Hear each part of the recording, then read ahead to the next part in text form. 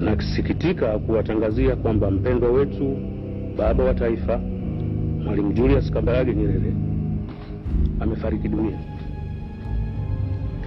Mwalimu ameaga dunia hii leo saa nne na nusu asubuhi saa za Tanzania katika hospitali ya Mtakatifu Thomas mjini London ambako alikuwa amelazwa akipata matibabu ya kansa ya damu tangu Septemba 24 mwaka huu. Kama taarifa zetu za awali zilivyoeleza, hali ya baba wa taifa ilibadilika ghafla Alhamisi usiku Septemba 30 na viungo vyote kuanza kudhoofu na ikawalazimu madaktari kumhamishia kwenye chumba cha wagonjwa mahututi mpaka alipofariki kidunia leo.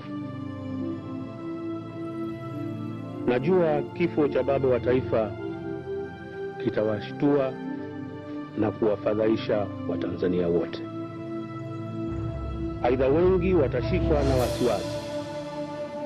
Mwalimu alijenga msingi wa umoja wa taifa letu na kuutetea kwa nguvu zake zote. Mwalimu na hayati mzee Abeid Amani Karume waliasisi Jamhuri ya Muungano wa Tanzania kwa kuunganisha Jamhuri ya Tanganyika na Jamhuri ya Watu wa Zanzibar. Mwalimu aliipatia nchi hii sifa na heshima kwa kuongoza harakati za kitaifa na kimataifa za ukombozi wa nchi za kusini mwa Afrika na juhudi za kusuluhisha mapambano ya kisiasa na kivita katika nchi huru za jirani. Kwa kuzingatia rekodi hiyo ya uongozi wa kutukuka, wapo wananchi watakaohofu kuwa umoja wa taifa utahatarishwa, muungano wetu utatetereka na mahusiano na majirani yataathirika. Nawaomba wananchi mwamini kuwa Mwalimu alifanikiwa kuweka msingi imara na endelevu katika maeneo hayo yote.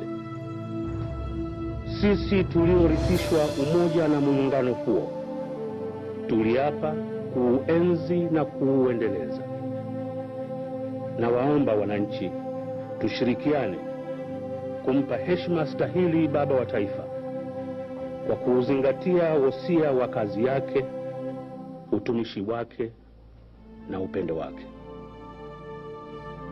Ndugu wananchi, wakati tunasubiri mwili wa baba wa taifa kuwasili nchini, na waombeni muwe watulivu na tuendeleze mshikamano, udugu na upendo wakati wote wa msiba huu mzito na wa pekee unaolikabili taifa letu.